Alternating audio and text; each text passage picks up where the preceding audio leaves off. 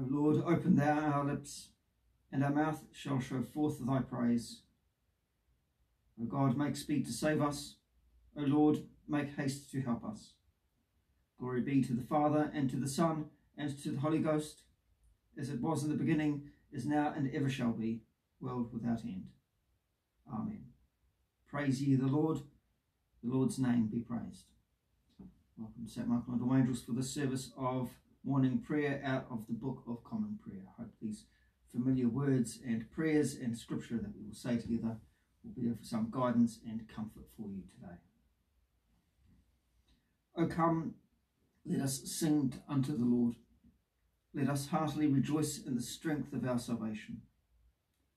Let us come before his presence with thanksgiving and show ourselves glad in him with psalms. For the Lord is a great God and a great King above all gods. In his hand are all the corners of the earth, and the strength of the hills is his also. The sea is his, and he made it, and his hands prepared the dry land. O come, let us worship and fall down, and kneel before the Lord our Maker. For he is the Lord our God, and we are the people of his pasture, and the sheep of his hand. Glory be to the Father, and to the Son, and to the Holy Ghost, as it was in the beginning, is now, and ever shall be, world without end. Amen. Alleluia, the Lord is risen indeed. O come, let us adore him. Alleluia. Psalm this morning is Psalm number, excuse me, 73 verses 21 to 28.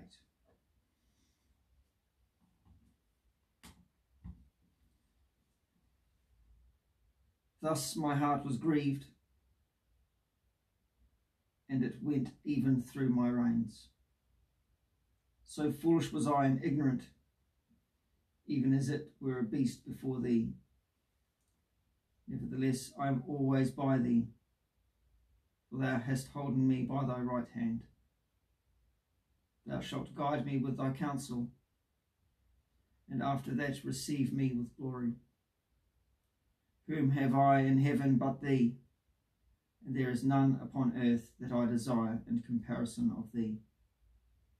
My flesh and my heart faileth, but God is the strength of my heart and my portion for ever. For lo, they that forsake thee shall perish. Thou hast destroyed all them that commit fornication against thee. But it is good for me to hold me fast by God, to put my trust in the Lord God and to speak of all thy works in the gates of the daughter of Sion. Glory be to the Father, to the Son, and to the Holy Ghost, as it was in the beginning, is now, and ever shall be, world without end. Amen. Alleluia, the Lord is risen indeed. O come, let us adore him. Alleluia. First reading this morning comes from the book of Job, chapter 14, beginning at the first verse.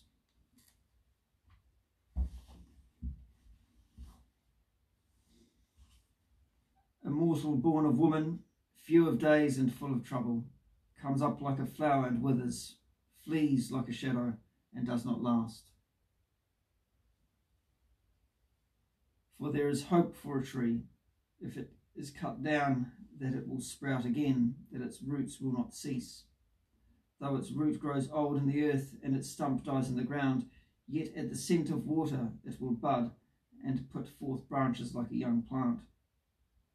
But mortals die and are laid low, humans expire, and where are they? As waters fail from a lake and a river wastes away and dries up, so mortals lie down and do not rise again until the heavens are no more. They will not awake or be roused out of their sleep. Oh, that you would hide me in Sheol, that you would conceal me until your wrath is past, that you would appoint me at a set time and remember me. If mortals die, will they live again? All the days of my service I would wait until my release should come. You would call, and I would answer you. You would long for the work of your hands. Go to uh, chapter 19. Excuse me, it's a bit complicated this morning.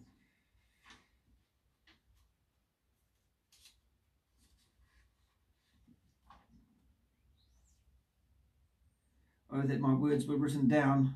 Oh, that they were inscribed in a book. Oh, that with an iron pen and with lead they were engraved on a rock forever. For I know that my Redeemer lives, and that at the last he will stand upon the earth. And after my skin has been thus destroyed, then in my flesh I shall see God, whom I shall see on my side, and my eyes shall behold, and not another. Here endeth the first lesson.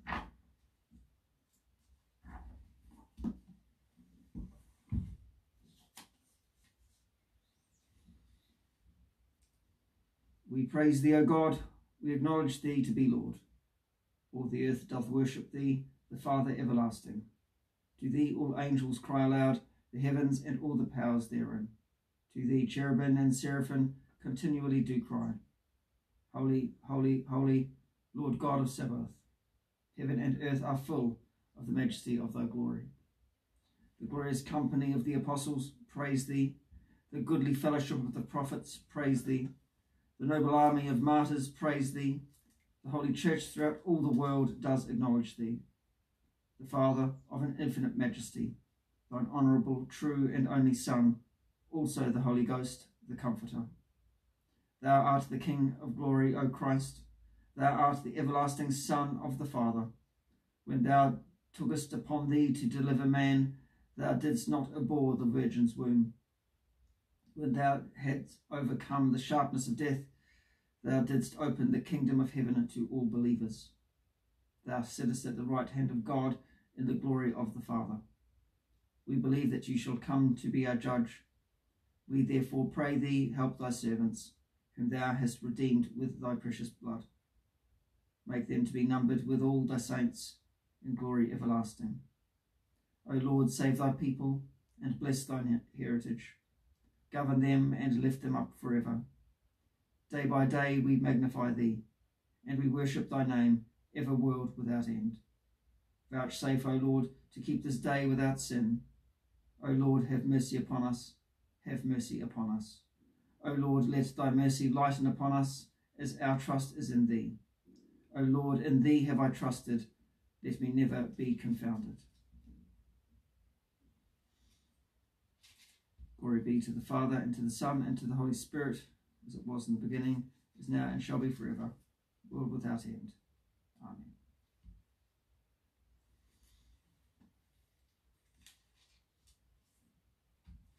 Second reading comes from the letter of Paul, the first letter of Paul to the Thessalonians, chapter 4, beginning at the 13th verse.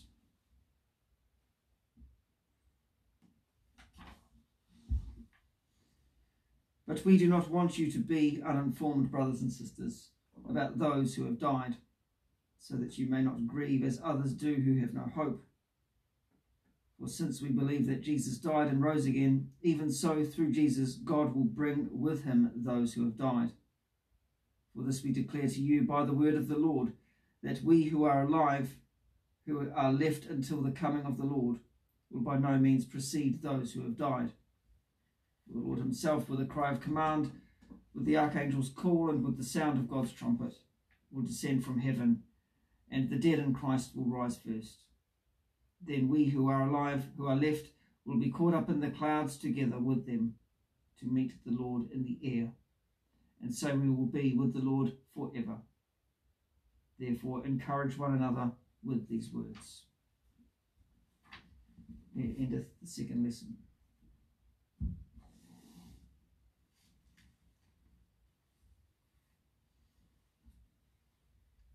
Blessed be the Lord God of Israel, for he has visited and redeemed his people, and hath redeemed up a mighty salvation for us in the house of his servant David, as he spake by the mouth of his holy prophets, which have been since the world began, that we should be saved from our enemies and from the hand of all that hate us, to perform the mercy promised to our forefathers, and to remember his holy covenant to perform the oath which we swore to our forefather Abraham that he would give us, that we, being delivered out of the hand of our enemies, might serve him without fear, in holiness and righteousness before him all the days of our life.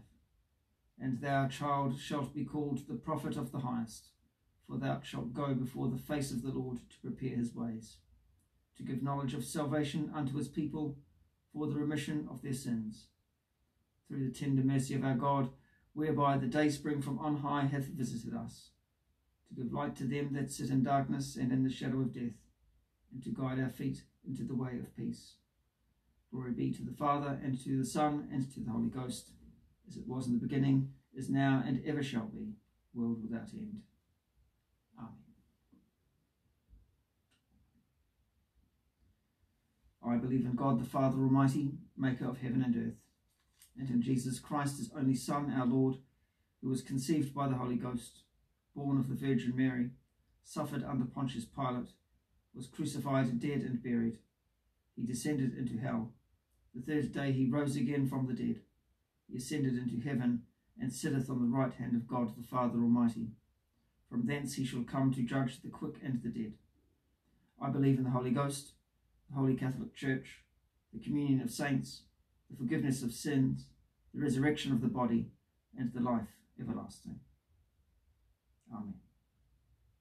The Lord be with you, and with thy spirit. Let us pray. Lord, have mercy upon us. Christ, have mercy upon us. Lord, have mercy upon us. Our Father, which art in heaven, hallowed be thy name. Thy kingdom come, thy will be done in earth as it is in heaven. Give us this day our daily bread, and forgive us our trespasses, as we forgive them that trespass against us. And lead us not into temptation, but deliver us from evil. Amen.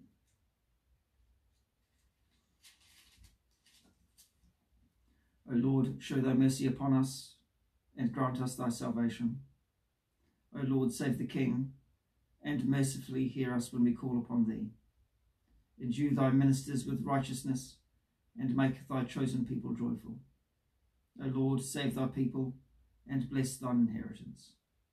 Give peace in our time, O Lord, because there is none other that ruleth the world, but only thou, O God. O God, make clean our hearts within us, and take not thy Holy Spirit from us. Let us pray. God, who speaks in silence, help us wait in quietness.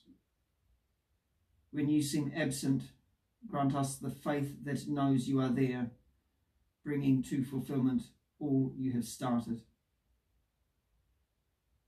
Through Jesus Christ, our liberator, who is alive and reigns with you in the unity of the Holy Spirit, one God, now and forever. Amen.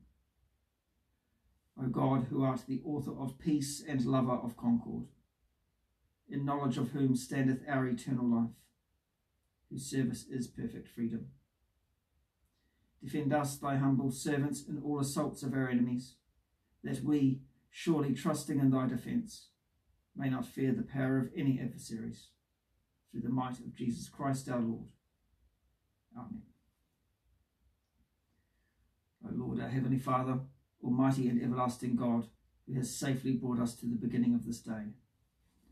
Defend us in the same with thy mighty power, and grant that this day we fall into no sin, neither run into any kind of danger, but that all our doings may be ordered by thy governance, to do always that is righteous in thy sight. Through Jesus Christ our Lord. Amen. Well, thank you for joining us here at St Michael and for the service of Common Prayer out of the morning prayer out of the Book of Common Prayer. I hope that it has been of some help for you today. I'm hunting for this last bit, which they don't have on this page. I'm, I'm trying to work this out, but hunting for the last prayer. And there it is. Please join us again at 10 o'clock for Solemn Mass, which will be live streamed from the church uh, Mass. This means communion, it's the choir, it's the whole and. Um, it's only going to be 10 of us there because we've got this limitation on how many people can be at church, but we've got a serving team, so it's going to be bells, smells, and singing. Absolutely wonderful. So please do join us at 10 o'clock. Let us pray. Almighty God, who has given us grace at this time with one accord to make our common supplications unto thee, and dost promise that when two or three are gathered together in thy name, thou wilt grant their requests. Fulfill now, O Lord, the desires and petitions of thy servants, as may be most expedient for them, granting us in this world knowledge of thy truth, and in the world to come life everlasting. Amen. The grace of our Lord Jesus Christ, and the love of God, and the fellowship of the Holy Ghost be with us all evermore.